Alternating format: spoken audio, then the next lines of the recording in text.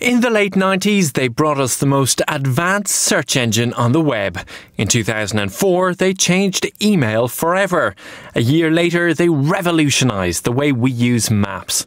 Google is making it its mission to simplify every aspect of our lives. And now they're setting their sights on another target our cities. Google boss Larry Page has teamed up with Dan Doctoroff, the former deputy mayor of New York, to launch Sidewalk Labs.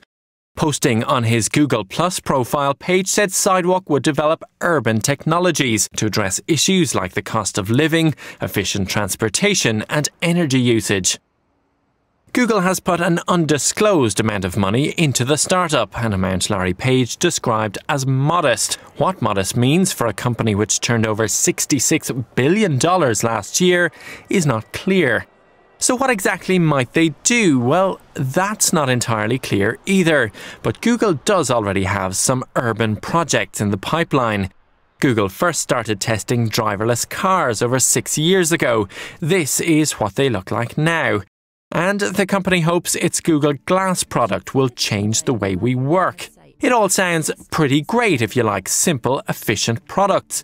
But are there any downsides to living in a Google world?